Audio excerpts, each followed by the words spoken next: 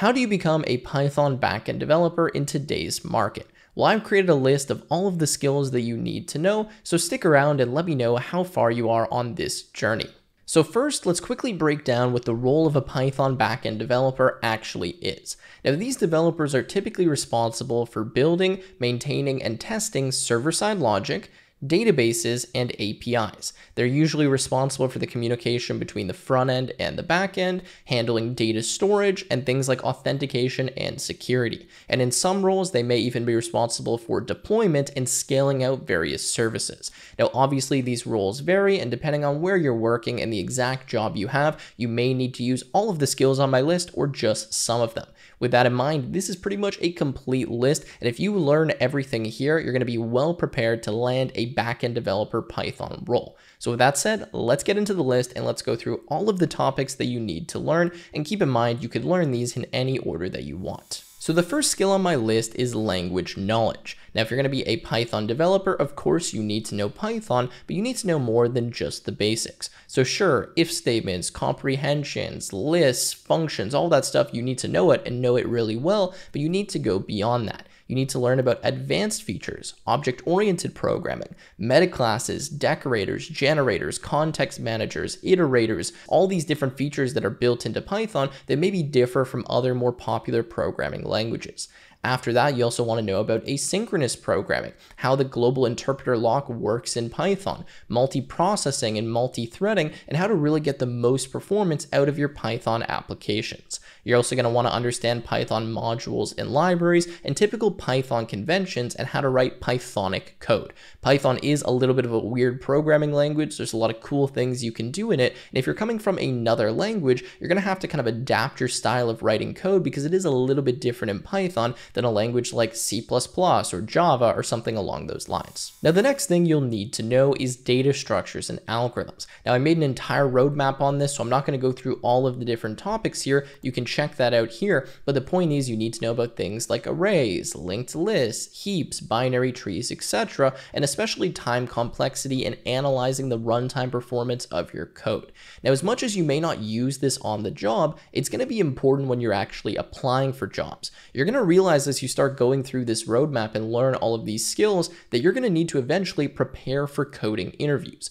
And during those interviews, you're going to be asked data structures and algorithm style questions. And I'm not going to lie to you, this is pretty brutal. It sucks to prepare for these, and it's just really annoying. And honestly, one of the things that I hated about trying to land a job and just becoming a software engineer. Now that's why I want to share with you a resource here that can make preparing for your interviews so much easier, but also a lot more enjoyable, and that's pGrammer, the sponsor of this video. If you've tried just jumping into LeetCode questions, you know that this is extremely frustrating. You get stuck, you don't know where to go next, and then you end up looking through countless solutions, many of which may not even be the best ones. Now with pGrammer, you're not alone in this process. The platform not only offers a wide variety of coding questions across different languages, but it also dynamically tailors the difficulty to your experience level. Whether you're preparing for a junior or senior level interview, pGrammer ensures you're solving questions at the right level to challenge you without overwhelming you. Now, if you hit a wall, pGrammer's built-in hints can guide you in real time using AI. Plus, you get feedback on partial solutions, and the hints feel like having an experienced software engineer right by your side. Once you submit your solution, pGrammer gives you insightful feedback that's both encouraging and constructive. This keeps you motivated while showing you exactly where you can improve, which is crucial for mastering the interview process. Now the best part is that you can use pGrammer for free, so click the link in the description, give it a try, and finally start enjoying preparing for your coding interviews. So moving on, the next skill I have for you is basic web development. Now, as much as you're a backend developer, a lot of times you are going to have to look at front-end code. Now, you might not need to write it or be a complete expert, but you definitely should understand at least the basics of HTML, CSS, and JavaScript. So if you haven't already, make sure you learn a little bit about those, get some familiarity with JavaScript, maybe some front-end frameworks like React, Angular, or Vue. Again, you don't need to be an expert, but you want to have a bit of knowledge and familiarity so you can communicate with the front-end team, and you'll see that a lot of job postings actually do require this kind of basic understanding of these languages for backend developers. Now, after that, we get into arguably the most important thing you need to know, which is API development. Now, this is a pretty broad field, but I'll give you a few subtopics that you'll want to look into. So first of all, you need to understand what an API is, what a REST API is, what HTTP is, and those various methods. You're also going to need to look into Python frameworks like Flask, Fast API, and Django. Django is probably the most notable, but Fast API and Flask are being used more and more, so I'd recommend having some familiarity and comfort with those. You're also going to need to know about authentication and authorization. So what are tokens? What is a JWT token? What is OAuth? How do you secure an API? And even things like rate limiting are good to look into here as well. And going back quickly to our Python modules, I also want to add to that list Pydantic. This is used for data validation specifically within frameworks like Fast API, so definitely have a look at that. It's a pretty useful module you'll want to know about. So generally, you just need to be familiar with APIs, building APIs, and how you do that in Python using these various different frameworks, security, authentication, all that kind of stuff. Get familiar with APIs. Now moving on, the next skill on my list is databases. Now this is one of the most important parts of your job as a backend developer. You need to understand how databases work and you're going to be dealing with databases all the time inserting data, retrieving data, backing up data potentially. So you really need to be comfortable and actually quite good in this area.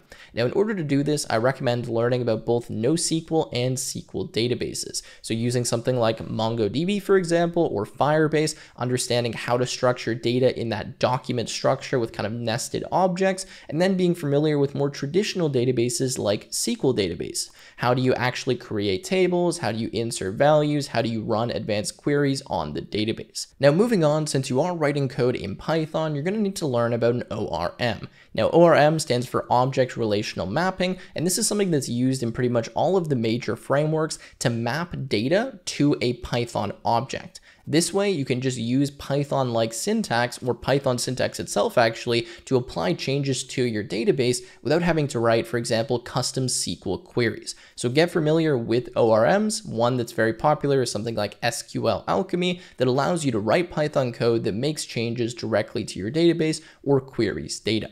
Beyond that, of course, you want to know about best practices when it comes to storing and handling data, preventing things like SQL injection attacks, and just basic database design concepts. Oh, and as a quick bonus here, if you want, you can look into something like GraphQL. Personally, I don't use it that much as a Python developer, but I have seen some companies listing this as a requirement or something they want you to know about. So moving on, the next set of skills I have here is Linux and command line. Now, as a backend developer, or really any developer for that matter, you should be comfortable working on the command line, using tools to navigate the command line, creating files, removing files, modifying configuration files, and just that basic familiarity so that if you have to go SSH into a remote virtual private server or something, you're able to do that and it's not going to take you hours to find all of the simple commands. This isn't something that takes a long time to learn learn, but I definitely recommend just getting comfortable in that Linux environment, working with operating systems that don't have a graphical user interface, for example, and being comfortable kind of using those commands, writing some basic shell scripts,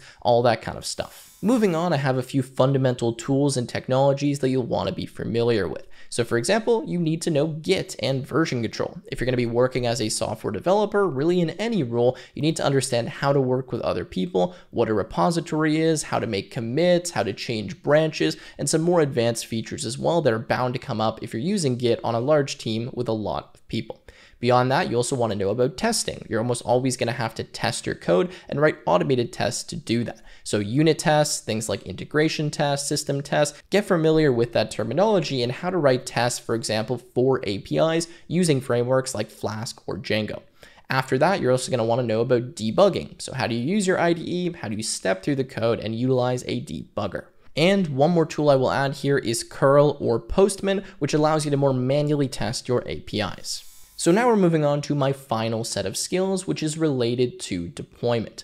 Now, unfortunately, a lot of backend developers end up becoming responsible for deploying different services, even though that can be a full-time job on its own. So as much as you might not want to do this, or you should think that, you know, there's someone else in the organization, like a DevOps engineer taking care of this, a lot of times it's just given to you. So you should at least be familiar with some of these topics. So for example, things like Docker and Kubernetes. How do you containerize your applications? How to use Kubernetes to handle different pods, spin those up and scale the different services?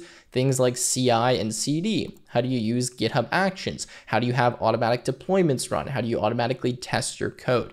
Beyond that, things like cloud platforms could be Azure, could be something like Google Cloud, Amazon Web Services. Usually companies are using one of these, so you just need to be familiar with whatever one they're using, depending on the job you're applying for. Again, this stuff is not super complicated. It's not going to take you years to learn, but I'd recommend go through some simple courses, watch some YouTube videos, just mess around with these technologies. So if you are asked about them, you have some familiarity and you could pick up the skills you need when you're on the job. There you go, guys. That is my list of the skills you need to become a Python backend developer. I'm sure I missed something, so please leave a comment down below and let me know how far you are on this journey. Are you trying to become a backend developer? Are you close? Have you learned all of these skills? I want to know, so leave a comment down below, and I look forward to seeing you in another video.